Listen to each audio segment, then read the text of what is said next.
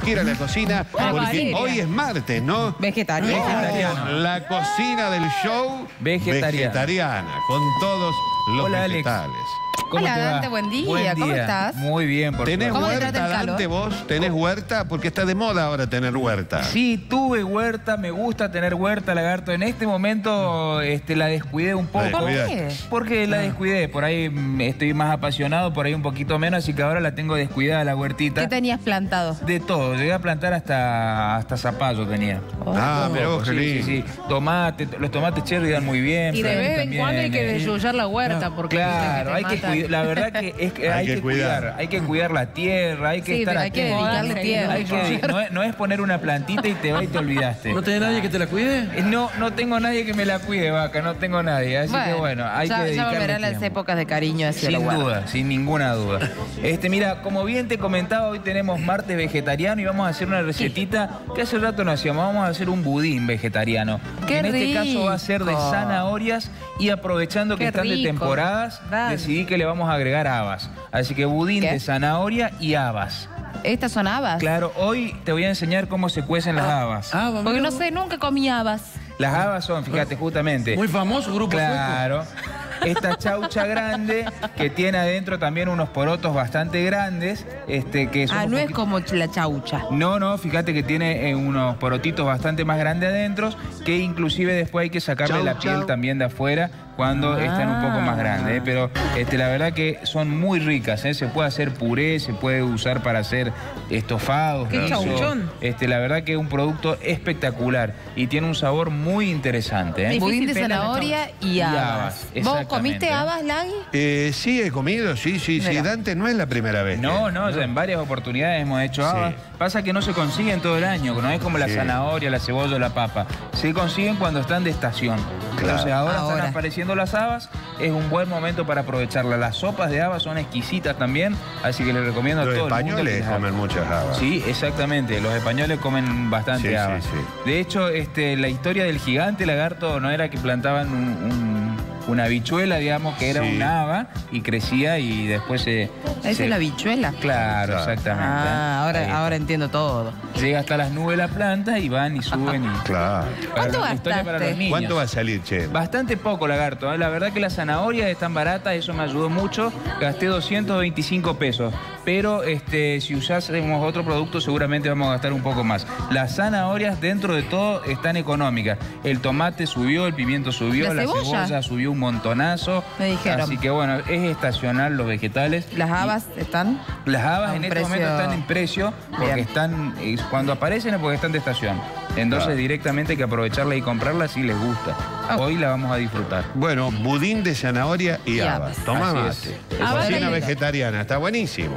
De primera. está buenísima. ¿eh? Además, tenemos distinta. proteína con los huevos. Tenemos proteína, seguramente después el doctor Sabac nos va a traer alguna semillita y algún fruto seco ¿Qué le como vas a para que agreguemos Claro. también. Está Así bueno, que está vamos a aprovechar de todo un Está, poco. fa- está bárbaro. Dante. Buenísimo, Dante. ¿Ya venimos entonces? Sí. Tenemos una claro. receta que hace juego con el color de tu ropa. Exactamente. Claro, naranja. Muy bien. Naranja, esa A la naranja. vaca le gusta haba.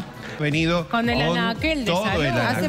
Mucho no lo veíamos al doctor. Bueno, che, ustedes pueden ingresar, disculpe doctor, lo voy a saludar, perdón. ¿Cómo le va? Muy buen día. No quería olvidarme de esto.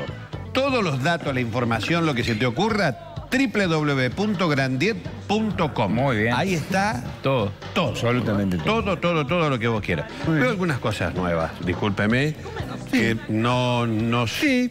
Esto, por ejemplo, clorofila líquida. Ajá. No lo había visto. ¿Qué beneficio tiene tomar clorofila líquida? ¿Para qué sirve? Usted que es biólogo. Para que, bueno, el la proceso cloro- de la- la clorofila es La este, foto- la fotosíntesis, la produce, claro. exactamente. Ir- Bueno, ¿Y en eh, el organismo humano, Bueno, eh, ayuda mucho a detoxificarlo, a limpiarlo un poco, ¿no? Usted sabe la característica de la clorofila es que tiene un núcleo químico que es igual a la hemoglobina de la sangre. Ajá. Nada más que en lugar de tener hierro en el centro, tiene magnesio. Esa es la diferencia entre la clorofila y la hemoglobina.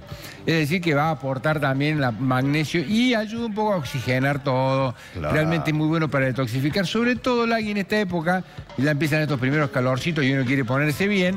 Hacer una- un tratamiento de eso como para limpiarse un poco de toda la macana que hemos ¿y comido en esto cómo invierno. se toma, doctor? Un par de veces por día, una medida dos veces por día, ¿eh? Mirá 10 vos. mililitros dos veces por día. Tiene un sabor agradable, No lo visto es nunca, ¿eh? No lo he Sí, pero es muy ¿Es nuevo, nuevo, nuevo? Sí, sí, sí, nada está mejorado. En, este- en Estados Unidos hacen, lo hacen, sacan directamente de- del verde, de los verdes. Sí, sí. Muy amargo, este, ¿no? Este es rico, es, eh, tiene buen sabor y por lo tanto lo puedo utilizar, por ejemplo, un par de veces por día durante un tiempo y le va, y le va a ayudar. La otra cosa, ¿por qué? O, o yo no lo he visto o esto no estaba acá. No, pero eh, está, no, no estaba, pero. No, acá no estaba, el Stop Appetit. Mirá Bueno, vos, sabor vainilla, proteína. ¿Pero ¿y qué- para qué sirve esto? Bueno, eh, usted sabe que siempre decimos nosotros que no hay nada que reemplace una comida. Una comida es una comida. Es una comida. un bife, un huevo, eh, es comida. Lo que hace Stop Appetit es eh, llenarlo para que usted coma menos. Ah. ¿Está? Y aporta obviamente proteína vegetal en un caso, en otro le digo, eh, pero no reemplaza. No es que usted tiene que estar todo el día comiendo eso, porque eso no va a alimentarlo como corresponde. Pero sí va a hacer que usted coma menos cantidad, o a veces puede pasar de largo, inclusive, Claro. eh, con la ayuda de- del stop appetit y no comer, no le va a pasar absolutamente nada. Pero quiero dejar en claro esto, no hay reemplazo de un no alimento, sino que ayuda a que no se coma tanto del alimento. Ah. Vendría a ser un poco eso. Por eso es muy útil en esta época también para lograr el, el- el objetivo de No, lo- lindos. no- no lo había visto antes acá o estoy distraído. No, no estaba ahí, no está distraído. Ah, no no, estaba. no, no está. No estaba Estaba. ni eso ni la clorofila estaba. Ah, bueno, estaban eso ahí. me parece. ¿Eh? Bueno, y el- lo del cat Bueno. yo se lo vengo preguntando porque esto está bueno que lo sepamos. Este, ¿Qué produce el, el- Bloquea, bloquea una enzima que ayuda a digerir los hidratos de carbono, de manera tal que se absorben mucho menos los hidratos de carbono, no, no llegan tanto a la sangre, no aumenta la insulina, no se depositan como grasa, por lo tanto ayuda en el proceso de adelgazamiento. O sea Sí. que los hidratos de carbono son uno de los problemas que tenemos, el exceso en el consumo de hidratos de carbono, son uno de los problemas que tenemos eh, con la epidemia de, de obesidad. Por lo tanto, consumirlo antes del almuerzo, antes de la cena. Hay una novedad, ah, pero no puedo decir nada. Bien, no, no, bueno, no, no, no, No, no, dígalo, Carlos. No puedo, Dígalo. no, no puedo. No, bueno, dígalo, ya lo No, no vamos a averiguar. La semana que Lo va a viene- decir el asesor. No, no. Sí, el asesor capaz que consigue la información. No, Claro. porque no, yo no le he dicho, estuve en el consultorio el otro Ah. día, pero no le dije nada. No, la semana que viene. Le hago una pregunta porque mi tía está queriendo desarrollar algunas cosas, masas, pero ¿cuáles son las harinas sin hidratos? Las harinas sin, hidratos son, por ejemplo, la harina de coco, la Ajá. harina de almendra, la harina de maní, la harina de lino, ¿eh? con los cuales en 7 onzas Ah. hacen las hamburguesas sin harina. Claro, sí, yo las he comido, sí. Por eso, sí, sí, sí, por supuesto. Este, esas son las harinas que no tienen hidrato de carbono y que obviamente requieren, por ejemplo, la harina de coco más líquido porque Ah. absorbe mucha cantidad de líquido, las otras necesitan menos. Bueno, cada una Claro. tiene una característica especial, pero ayudan en definitiva a no consumir los hidratos de carbono o a consumir menor cantidad junto con el aceite de coco, la pasta de maní, ¿eh? que son las opciones low carb. Yo me bajé ya el... Ya sé. el- no me lo bajé, sí. Pero- Me duró... Qué y no, no, me duró dos semanas y media. Ah, no, está Dos bien. semanas y media. No, pero bueno. Qué rico, qué Es muy ¿Comida rico. a cucharada, lagarto? Sí, sí. Sí, porque Sí. lo que pasa, ¿sabe cuál es la ventaja? ¿Cuál es la No tiene azúcar. No tiene azúcar, No, claro. no, sí, no, tiene al no tener azúcar eso tiene le- azúcar. le ayuda, Estuve ¿no? tentado de hacer la mezcla de eh, aceite de coco con un poquito de pasta de maní, pero digo, no, iba a preguntar al doctor qué Sí, sale. se puede. Se puede, Sí, ¿no? por supuesto, claro que sí. Porque lo debe hacer un poquito más no hay, no absolutamente ningún inconveniente. Inclusive eso después usted lo, lo agarra le pone, por ejemplo, un Cacao. poquito de almendra, una semilla, Ah. unas castañas de cajú, unas nueces y, Y se lo hace. bombones. Y lo pone en el freezer Eh. y lo congela. ¿Eh? Qué Que- rico. Ah, bien, Dante, bien. ¿eh? Dante, bueno, chico vos Dante vas a necesitar algo le voy a de pedir unas semillitas al doctor. si semillitas, amable, hay de sí. lo que quiera. Y deme algunas de chía y... De chía. Acá, están las de chía. Chía. Acá están las de chía. Eh, ahí en Grandiet vos podés este, conseguir lo que vos quieras. Además, podés ir a los lugares low carb, que es lo que tiene todo de Claro, bajo, todo lo- eh, bajo bueno, en carbohidratos. hidratos. No se olvide de este, ¿no? No, bueno, el No. café verde Max es Sí, tremendo. ahí está bien, sí, doctor. café Arlequín. Tremendo. Ahí está. Y poquito, ¿eh? Con ¿Ah? eso es suficiente. Bueno, que ha caído el rinde crédito. mucho. No, Claro. pero rinde mucho. Ah, no tenés Acá. tanto crédito, la verdad. caído el crédito. rinden, rinden mucho. Bueno, Doc, Ahí está. muchísimas gracias. Listo, no, gracias a usted, nos estamos Gracias. viendo. Gracias, Chao, Dante. Ya venimos para ver, ¿eh? Bien. venimos para ver. www.grandiel.com. Ahí encontrás toda la no- lista de productos, los lugares y además los centros especializados Claro, donde hay sí, un señor. profesional que te asesora. Exactamente. Es más fácil. www.grandier.com. Claro. No se olvida pava. Y si andás flojo de la memoria, Claro. podés tomar ahí. Memo Forte. Memo Forte. Memo Forte. Bien. Memo. Bueno, gracias. Gracias a usted. Gracias. Chao, Doc. Bueno, antes vamos para la cocina. Al, ritmo del chamamé nos vamos bien. a la cocina. Que baile Porque esta es una cocina ¿Cuándo nos vas a vegetariana, pero chamamecera. Llámame. Queremos En cualquier momento, Alex, en Por cualquier favor. momento. Eh, tiene que ser algún día que venga con la alpargata. Sí, sí, por ah, con ese, zapa- con Tiene- ese calzado no Tiene podés que ser la alpargata de Yute. Bueno, tráela y Ya, ya la voy a traer algún día, te prometo. Mira, acá tenemos entonces puré de zanahorias. Sí. Cociné las zanahorias cortadas en rodaja en una olla con una cebolla, un diente de ajo, una cascarita de limón, sal y pimienta. Y después, una vez que estuvo cocinada, se hace este puré.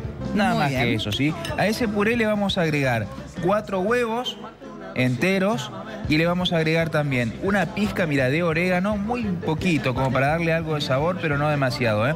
Le vamos a poner un poco de estas semillas que este, nos, dio, nos dio el doctor Sabac, semillas de chía, ponemos un par de cucharaditas, me las voy a dejar ahí para utilizarlas después. Vamos a poner también las habas, que ya las pelé, las cociné y se vuelven a pelar, ¿sí? Porque Ah. tienen otra cascarita que hay que ¿Cuántas sacársela. Voy a dejar algunas para agregárselas arriba.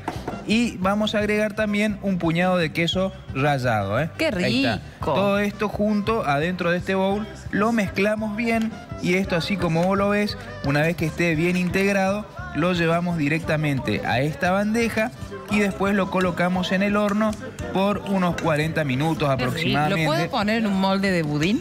Sí, perfectamente. Ah. El- esta, este tipo de bandejas tiene la ventaja, primero, que podés llevarla al microondas y que también la podés cocinar en el micro. Ah, mira.